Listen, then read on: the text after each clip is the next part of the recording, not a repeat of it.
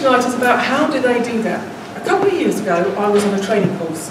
And on this training course, one of the things that I needed to do, or was required to do, was do some research and actually find a subject I wanted to know more about. And something I wanted to know more about was, how do people on stage learn their part? How do they do that? I mean, really, how do they do that? How do they hang on to all of that information?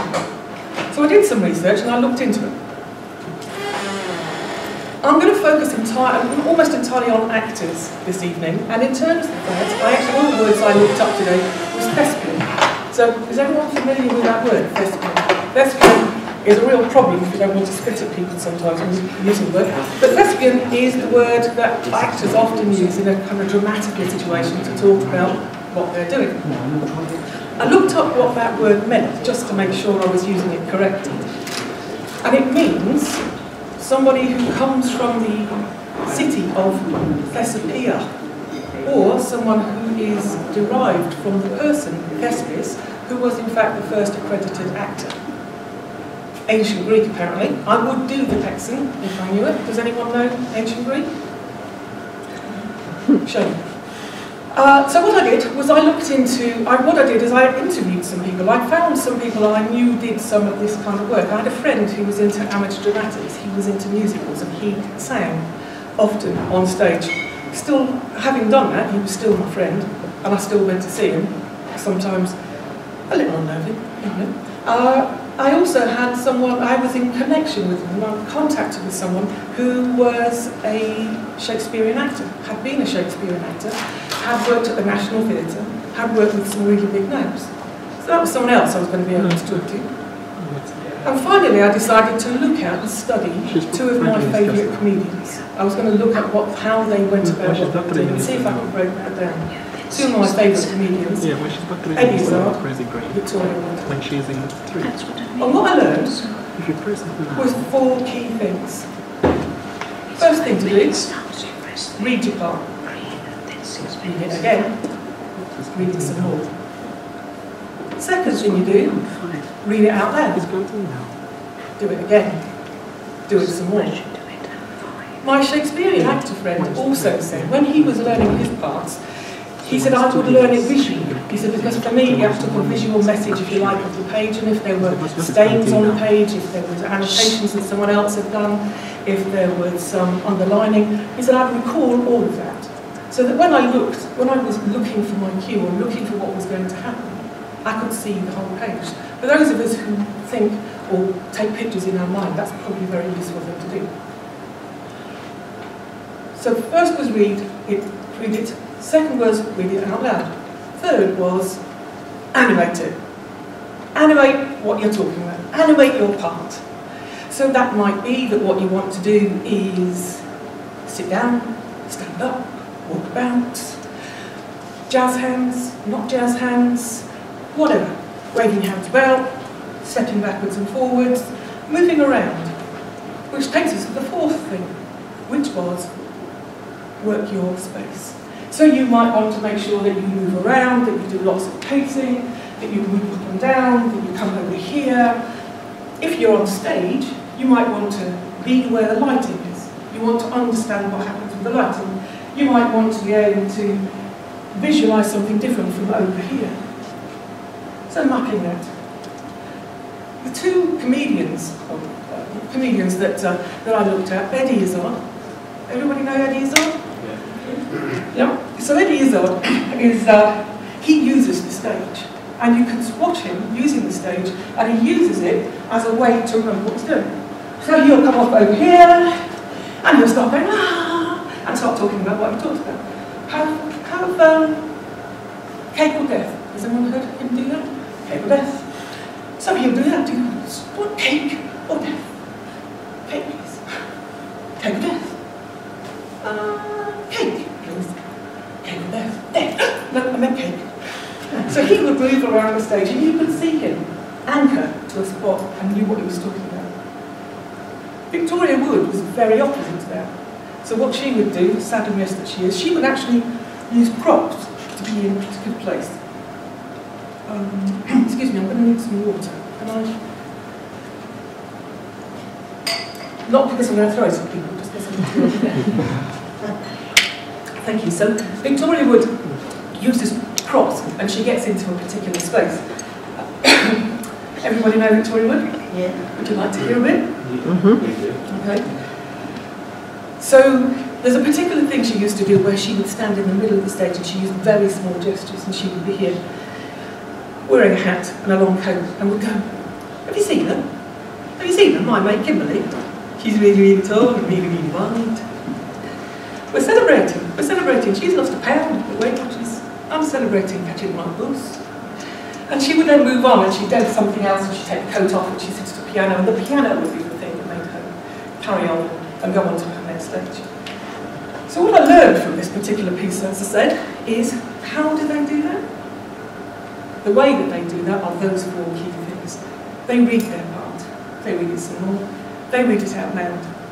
They animate it.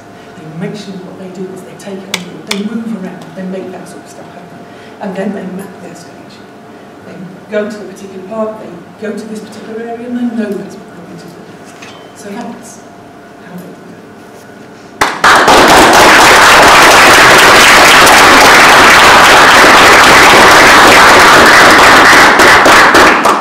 Thank you very much, Sue. Do you know what? That's really interesting about the animating the visuals because you know uh, someone must know the story of The Gruffalo. Yeah. I read that literally about ten times a week. But if I'm stood here, I could not tell you the start of The Gruffalo. But if I do the actions, I can tell you the start of it. It must be some sort of link. Stood here, I can't think of the first line. But if I start walking around, a mouse took a stroll in the deep dark wood, and mouse saw a fox. I can't say it standing still. It's really bizarre. Anyway, so we're going to do this thing where you get in groups, just like people in the, on your table, the table behind you, and talk about Sue behind her back for a few minutes, and then write anonymously on a bit of paper behind her back to give it to her. So two minutes, please. We're Going to talk about oh, it. We got I'm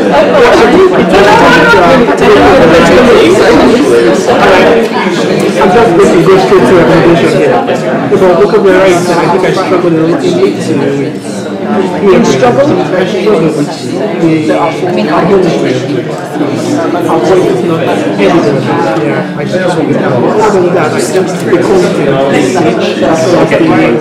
was very good. It was the beginning, she said it, she told us, it, she repeated it, Yeah. we got it three times. Of course, yeah. Yes, yes. And she, she I think you're right. If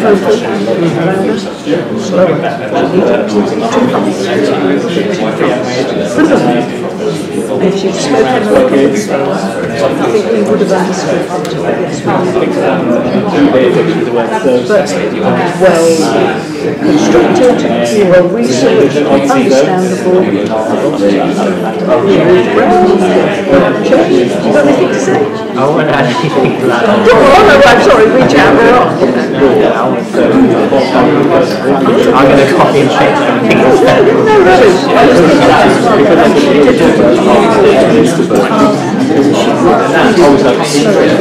It looks like it's a great time. So I'll say you can focus and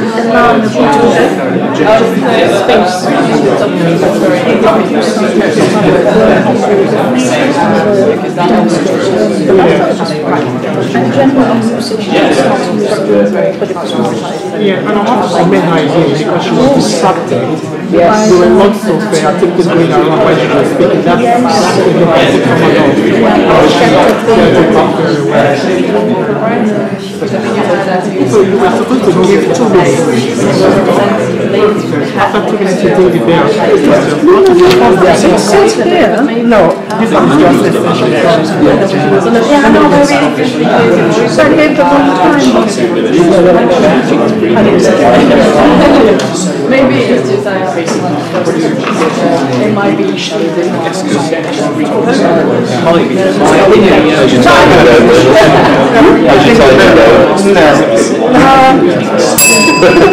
what I'm talking about. So, if you, if you time down, when the speaker goes over, Right, time's up. it will So, be exactly.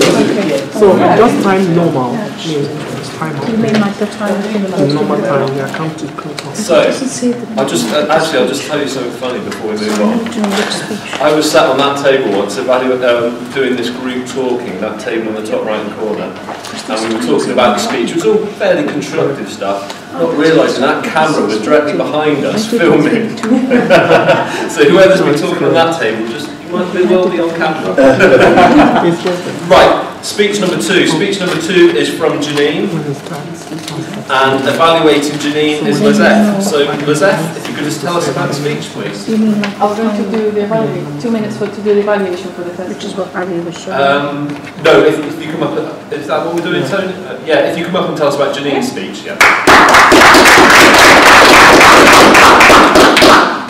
Hi everyone, so today we're going to have the full Jenny, Janine uh, giving us a speech at this project to persuade with power. So the things I'll be looking out for will be, uh, or she will, things I will be evaluating the, can I just? Things I will be evaluating will be her per- persuasion on, on us, on, on the public. Um, also analyze that she's um, analyzed audience um, and chosen a topic that will be interesting for everyone.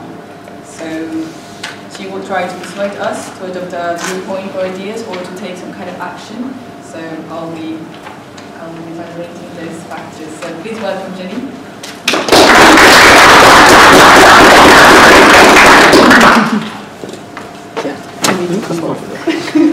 Mr President, fellow Toastmasters and honoured guests, I think there's a bit of sod's law here, as you will see as I continue.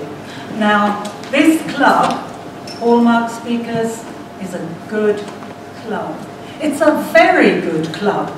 We had a visit just the other month from our future area director, and she gave us the most marvellous report. We had excellent speeches, we have a lovely venue, we're well organised, and we're meeting our targets as a club. We are a really good club. And I think there's something missing. How many people here today have been in Toastmasters at least three years?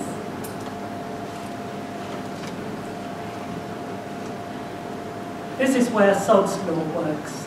There are five of them, I think, or maybe six.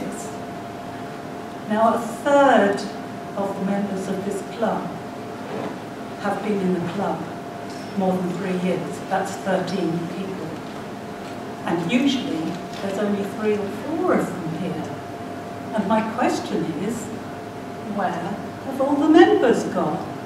Why aren't they here? And does it matter? Well, I think it does matter for a number of reasons. You see, these members have experience. And as you have noticed if you were here last time, Dee immediately got landed with being Toastmaster because she's experienced. And what has happened today? Greg has come and he's doing the Toastmasters role at the last minute because he's experienced. So we learn from their experiences. And there's another reason why it matters. That's because, as a third of our membership, if they drop out, we're in trouble financially as a club. We need their money, but we also need their presence. And that made me think, what are we going to do to encourage these members to come more regularly? Some are away. Now, Peter here has been abroad. We can't really hold that against him, can we? He, when he goes to family, he can't come. But others must be deciding on a Wednesday night, like Greg explained, am I going to go to Toastmasters tonight? No. And is that because of something we do here that is causing them to hesitate? Is it not as interesting as it used to be? Let me give you just one idea that I think may be affecting people's reason for not coming. And I think it's the speeches. Hey, wait a minute, you will say to me. You've just said the speeches are really good. And the speeches are really good. Technically, the speeches here are really good. So what's wrong with the speeches? First of all, I'm going to talk about icebreakers. Everybody, if they're starting on the competent communication manual, have to do an icebreaker. And you'd be surprised how many members have said to me, I love the icebreakers. We used to have one nearly every week. But now we have the accelerated speakers workshop. They're all, almost all, in the workshop and not at our meetings. When the workshop was set up, we thought people have to do their icebreaker first, then they can go to ASW. But it, it's impractical. People join the club, they want to get a move on. So they go to the workshop, they do their icebreaker, and we don't actually hear them until another later speech. Now, what's the icebreaker for? It's for two things. First of all, it's to give you a chance to just get off the ground, to get started.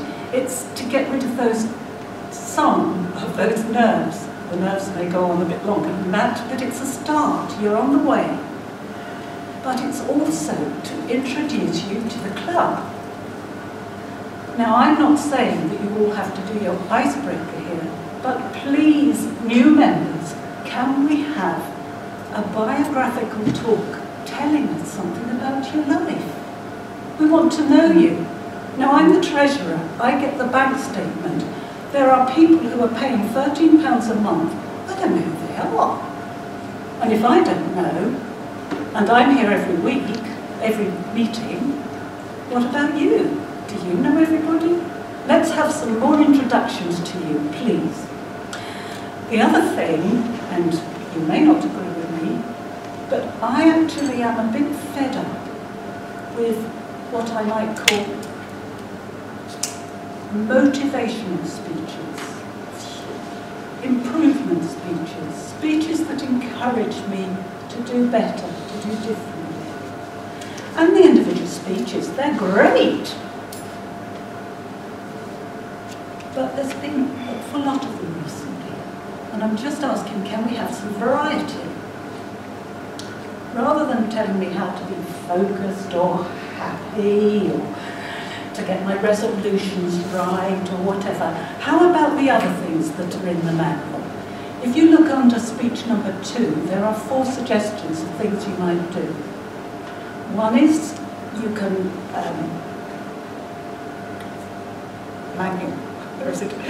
Uh, the first thing it suggests is that you use discussions you've had with people, like my um, my one on uh, grammar schools was as a result of a family discussion that got very heated you could also use life experiences. Life's full of interesting things. On the time when we were asked to talk about holidays in the warm-up, you couldn't stop people. Well, most people here travel. What, or what about the, all the people? Most of the people in this room, I reckon, were brought up abroad. You came to this country. There are so many stories you could tell us about, I'm sure. Another thing is expertise. I think Phil is an absolute wonder. Could anyone but Phil make us excited, fascinated by car engines? But he can. he loves them. He's an expert. And you all have expertise in something. Let's hear about it. Let's hear your hobbies, your interests. And uh, the last one, I'm afraid I just can't remember, I know what it is. It's collecting things like articles you read or um, something that specially interests you. And I was just touched before about the talk you'd had on, or learning you'd done on the Mayflower in Southampton. Fasc it would make a fascinating talk. So I'm saying to you, Toastmasters, take the challenge. We want to get these members to come back. And as I said, there's a lot of them here today. They usually aren't. You can ask them if this is right. If it is, how about varying your speeches next time? Where have all the members gone? Well, let's see if we can get them back again. Thank you.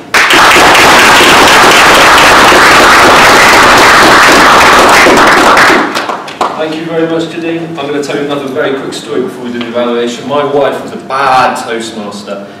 In the early days of our marriage, when she did things to make me happy and stuff, she used to come with toast, no, no, no, Toastmasters. Used to come to Toastmasters to humour me, basically, and she came for three years. And in those three years, I think she came to 25 meetings.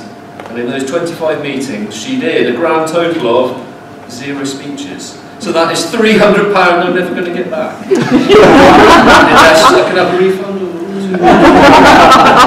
anyway, two minutes, groups, talk about Janine.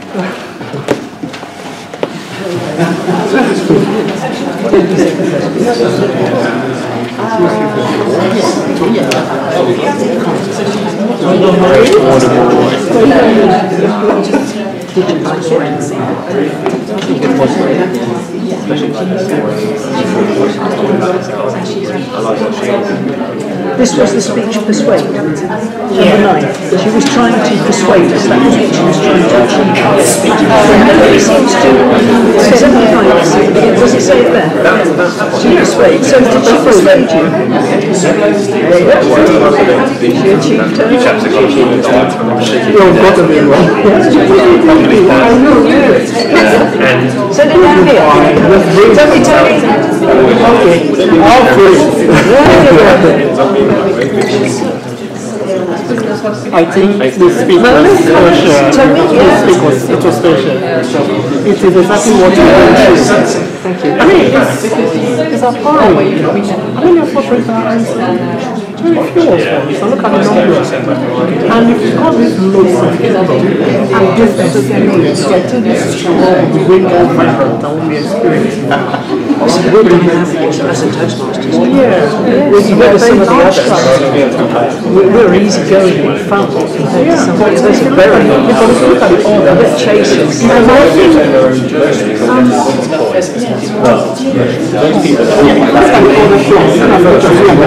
They've got something better just is, you can see like ten or five of them in the same meeting regularly, that have been there for a long time. We don't get that. We're bigger than everyone. Yes. And so, When it comes to, the for this season, continuity.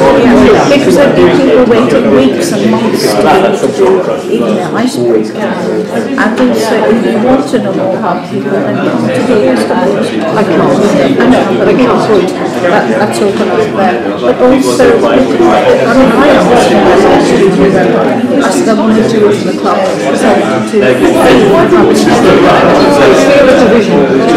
That's not, this is another conversation. We're talking about Janine's speech. Yeah, yes, and I thought it was, especially it was showing that, you know, it's to know, but I think an icebreaker is not really really to know about. The icebreaker is about sharing and starting your speech, so that you start with the first step. And?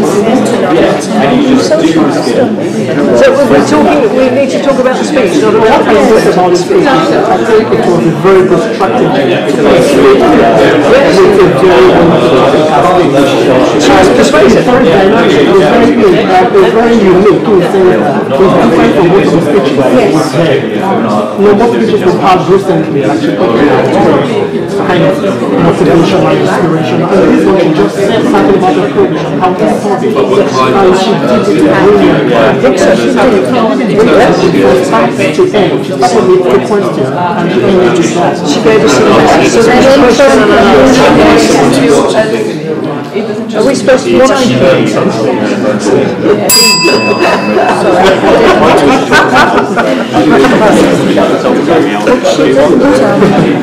Right, that's two minutes left. what she didn't like, which was nice, I think.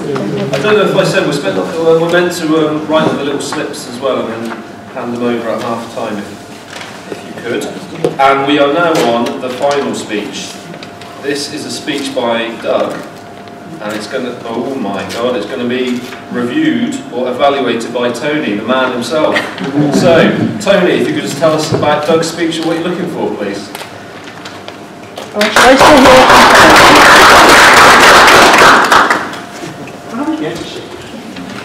Yes. Hello, ladies and gentlemen, fellow Toastmasters and guests. I want to introduce you to a guy that I have known not quite long ago, recently. And just like he said before the meeting started when he was introduced here to talk about the conference they went for, this is someone who has inspired me a lot. A lot that when he came here, he knew exactly what he wants. And he's getting there. And today, what is his objective? Is to talk about speech number seven. Your ability to get from one to five is a great task. But to get from six to seven to ten, that is a wonderful one. And today's responsibility or his project is about researching his topic. Just like we heard from the last speaker, is to actually talk about something you do, or something you have interest in, or something outside the, I mean, the ordinary, just like a car engine. So today, I don't know what his topic is going to be about, but he's going to do an outright research in that topic and to give us an educational view of it. I don't know what role is going to go into entertaining, education, educating us, or maybe inspiring us. But however, he's supposed to give us content that has to do with research, proper work, thorough work on it. He's going to give us insights of what his topic is about. And he's going to do this for about five to seven minutes. Ladies and gentlemen, introducing you to the poet of Hallmark Speakers Club, Mr. Edward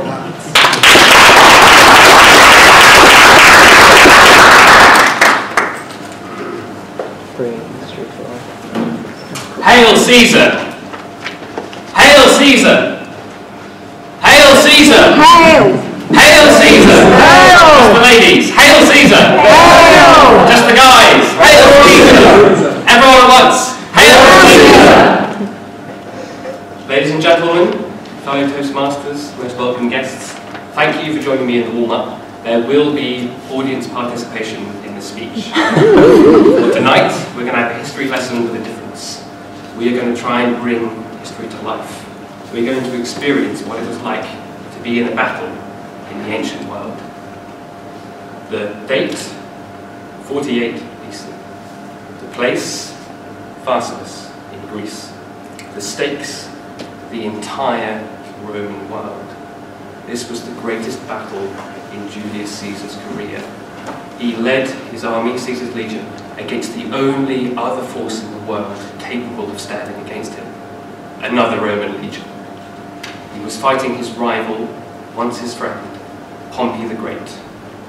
And this was going to decide who controlled Rome. Was it going to be Pompey's faction, the Senate, the old guard, the wealthy patricians, was going to be Caesar and his popular people's uprising? Caesar had command of 22,000 Roman soldiers. Pompey had command of 45,000 Roman soldiers. Caesar was outnumbered two to one. But Caesar was always outnumbered, and it had never bothered him before. Now, I don't know how, how much you know about ancient warfare, but there are two important factors to have a good army. You need discipline, and you need ferocity. Now, the ferocity of the Roman legions, legendary, as was their discipline. They always stayed in their formations, they fought in their ranks, they knew how to keep a cool head in battle. But you also had to be able to get worked up, to get angry.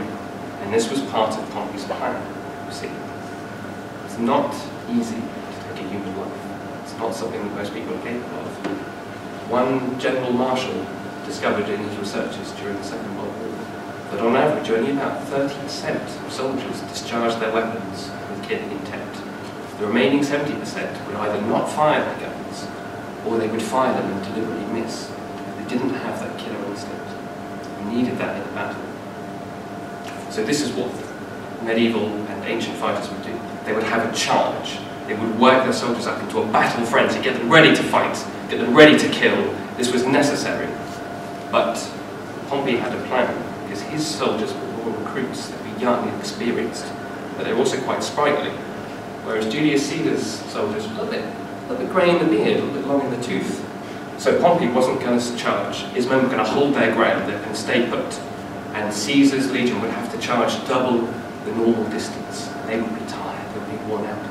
This would be the advantage that he needed in order to win the battle. So now it's time for the audience participation, ladies and gentlemen. You are going to be Caesar's legion. I will be your centurion. Please get involved. Use your hands as your swords, your tables as your shields to keep the beat. And when the moment comes, be ready with your battle cry of charge. Hail Caesar! Hail Caesar! Hail Caesar! Friends, Romans, countrymen, this is the final battle for the fate of Rome. Finally, we will defeat the patricians that have hoarded the wealth of Rome for so long. We will reclaim Rome in the name of Caesar, in the name of the people. Hail Caesar! Hail Caesar! We are the greatest fighting force the world has ever known.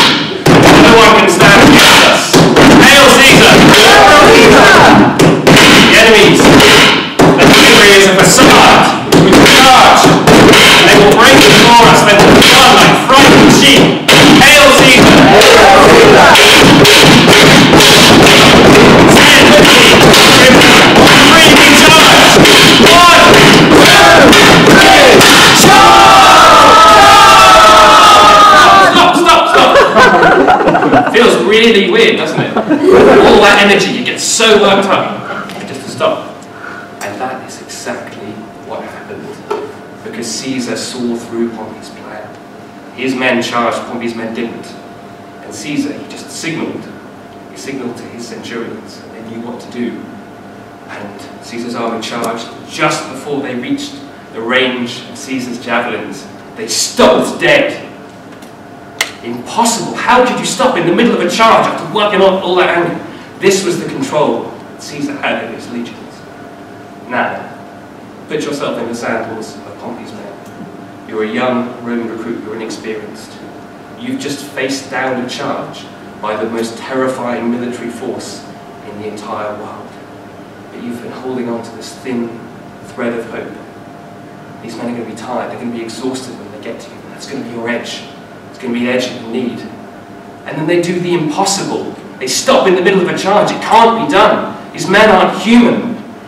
And then they stand there looking at you. Maybe, maybe even giving you a cheeky smile and a wink. Oh, almost got us there, Pompey. Very clever. But we're not going to fall for it. And then you see every breath they take, that tiny advantage, the little advantage you had, slips away like sand through your fingers. And then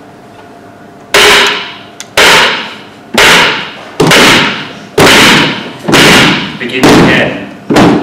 Now, ladies and gentlemen, I don't think I need to tell you which side was victorious that day.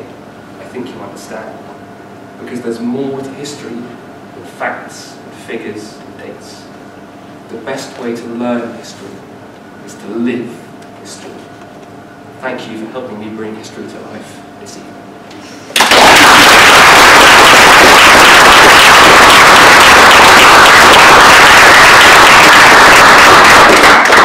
Wow, my heart rate is actually to be honest. I suggest when we all get into work tomorrow in our office, I'm plastering my way Get up from the table and give it some of that. Yes. I'm sure we'll get that overly well, but I'm going to give it a go. Right, that is the end of all our speeches, I believe. So, two minutes to talk about Doug.